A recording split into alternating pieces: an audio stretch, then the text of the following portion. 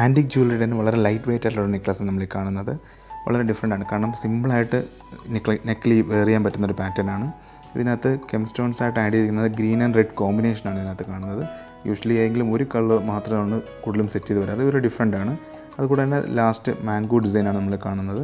വളരെ ഭംഗിയാണ്. കാരണം ഈ വെയിറ്റിന് മൂന്ന് മൂന്നര പവനകത്ത് നമുക്ക് ഇങ്ങനെ ഒരു ആന്റിക് ജ്വല്ലറിയുടെ വർക്കൊക്കെ വരുന്നത് വളരെ റെയറാണ് വളരെ ഡിഫറെന്റ് ആണ്. കാരണം നെക്കിൽ നല്ല സൂട്ടായിട്ടിരിക്കുന്ന ഒരു പ്രോഡക്റ്റാണ് നമ്മൾ കാണുന്നത്. വളരെ ഭംഗിയുള്ളൊരു പാറ്റേൺ ആണ്. ഇതിന്റെ തന്നെ ഒരുപാട് വെറൈറ്റീസ് നമുക്ക് ഷോറൂമിൽ അവൈലബിൾ ആണ്.